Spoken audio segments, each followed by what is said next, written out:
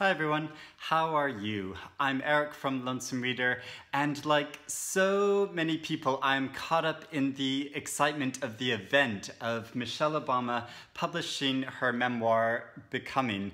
Uh, this week, uh, she's going to be interviewed by Oprah, and she's on the Oprah's book club, and uh, she's going to be doing an event at the Southbank Centre in London, where she will be interviewed by, get this, Chimamanda Ngozi Adichie, and I was so excited to go to this event, and it's like a one-time event at the Southbank Centre.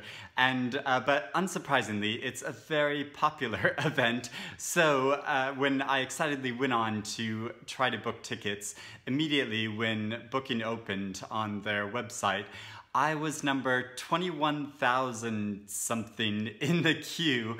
Uh, so I don't think I'm gonna be able to get to that. But nevertheless, I am still like so thrilled about the book's publication. And I'm so happy that I read it. So let me tell you why. And I'm not excited just because she's a former First Lady, who is also an icon in her own right, because she's done such great things for the community and the country or just because of her historic importance as the first African American First Lady, who is the great great granddaughter of a slave. And not just because this book finally gives insights into her private thoughts and feelings on a whole range of subjects from her evolving romance with Barack to the painful transition to the current presidency uh, after they left the White House. And I'm not even just excited about this book because I have silly fantasies about what it would be like to be Michelle's best friend and closest confidant. And listening to this audiobook uh, for 19 hours and three minutes of having her speak directly into my ear, like simulates that feeling. No, why I'm so excited about this book is because I need a dose of wisdom and optimism in a period of time when the world seems so bleak and I feel these like encroaching feelings of cynicism creeping over me. So I've only just finished the amazing journey of listening to this audiobook and I'm overcome with emotion and admiration and more hope because of the insightfulness and the heartfelt openness of Michelle describing her journey. I mean, this is someone who has been put under such brutal public scrutiny because of who she is and what her position is. Uh, but I love how she emphasizes the importance of telling our own stories and like through her story she says how i love this quote she says uh, she is slaying the caricatures and stereotypes with my own words i love that quote so she tells the story of her life from her childhood up until the point of moving into a new home after leaving the White House. And through this, she shows her qualities as well as her flaws and her triumphs and her disappointments, her difficult compromises and forthrightness of being a girl who was brave enough to stand up and talk back to her cantankerous grandfather uh, when he was being abusive towards her grandmother, um, even though in retrospect she realizes that he was grappling with his own disappointments in life. And she also reveals her self-doubt. Throughout the book, she continuously asks the question, am I good enough? And by doing this, I feel like she restores the humanity which the media and tabloid scrutiny have taken from her. And I think this is really important because I was just at a book prize ceremony this past week, and when a nonfiction award was being given out, the presenter said how he hoped the greater diversity of nonfiction being published these days would hail the death of the celebrity memoir. And of course, I'm all for like a greater diversity of nonfiction coming out, and I'm sure there's a lot of sensationalist celebrity memoirs which really aren't worth our time. But I think the real excitement surrounding the publication of Michelle's memoir is real an, uh, an, indication of how we are desperate for a very intelligent role model who has such a had such a significant impact on our cultural and political history. Let me give you one of my favorite quotes, and it's why I find this book so inspirational. She writes how so many of us go through life with our stories hidden, feeling ashamed or afraid when our whole truth doesn't live up to some established ideal. We grow up with messages that tell us that there is only one way to be American, that if our skin is dark or our hips are wide, if we don't experience love in a particular way, if we speak another language or come from another country, then we don't belong. That is until someone dares to start telling that story differently. And so this book gives us a story which we are dying to hear and that tells a different story. Right, so what are my favorite parts? Well, there's a lot of them. I found it so fascinating reading about her childhood growing up in Chicago and how her neighborhood slowly emptied out of white and more affluent families when it was demonized as a ghetto and how she, uh, her academic achievements um, allowed her to go to a really well-regarded school, but how over time she realized that there was an African-American elite and Jack and Jill Club. Uh, so like I found this particularly fascinating because I've read a few years ago Margo Jefferson's memoir called Negroland in which she um, talks about these issues and this um, these divisions in the African American community. And there's a lot of parallels between Michelle Obama's story and Margo Jefferson's story because they're, they're centered around the same time and place of Chicago in the 1950s and 60s. Um, so if you find this subject interesting, I would really like encourage you to read this memoir as well. Another insight from this period of Michelle's life, which I think she encapsulates so well, is how she learns from this that um, there are are the apparatus of privilege and connections what seemed like a network of half-hidden ladders and guide ropes that lead into the sky.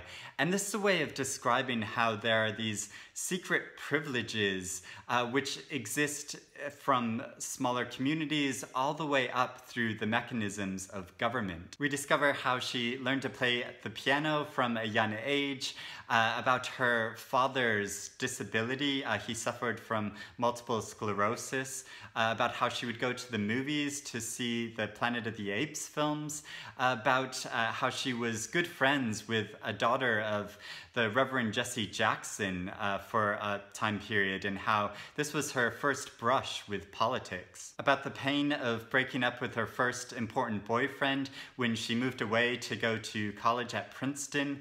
And there's all these wonderful little personal insights into her life, like how she uh, in, she loves the, the tidy triumph delivered by a home makeover show. The panic of re-election night when uh, her phone goes out of service, uh, so when she's sending messages to get updates and she doesn't receive any replies, she assumes it's it's the worst and Barack hasn't been uh, re-elected for, for the White House and how uh, one, on one evening she sneaks out of the White House with one of her daughters to look how the White House is illuminated with rainbow lights after the uh, Supreme Court passes a law that allows same-sex marriages, and about her brush with uh, famous figures in the world, like chatting about uncomfortable shoes with Queen Elizabeth and meeting Nelson Mandela and what he said to her. And she reveals how she's someone who's not naturally drawn to politics. And then there's also just like humble things she talks about, like the, the pleasure of being home alone at, and making cheese on toast. And of course, there's all these wonderful insights into her relationship with Barack and how they met. So uh, she, she first met him when she was assigned to be his mentor at a law firm that she worked for, even though she's uh, three years younger than he is and uh, how she was uh, disappointed because he was late for their first meeting and how she told him off on that first meeting for smoking cigarettes. How Barack liked to spend any spare change he had on buying books and how he reads political philosophy just for pleasure. And there's all the romance of how they first got together, like how on a business trip to go see a production of Les Miserables, they both really weren't enjoying it, so they left at the interval and how they had their first kiss over um, having some ice cream together, and how she got him to watch Sex in the City for the first time. And there's all these wonderful insights into how their different personality types complement each other. So where she's very fastidious and fast-paced, he's very laid back and patient. And how they had different views on marriage and how she found living with someone with a strong sense of purpose took some getting used to. And it's also really powerful how she speaks about her miscarriage and her IVF treatments. Also, she describes the difficulty of balancing a family and a work life and how this leaves her feeling like she's only doing things half well. And this is something I've heard described by so many of my female friends. So this book is filled with specific but very relatable details. And I think this is great because it shows her to be a much more dynamic person than I think a lot of people give her credit for. So one of her platforms as First Lady was to uh, decrease rates of obesity in children and encourage nutrition. And she starts a garden at the White House, uh, but she reveals how, you know, she's she really enjoys uh, Chipotle and uh, McDonald's cheeseburger from time to time. And of course she does, like so many people do.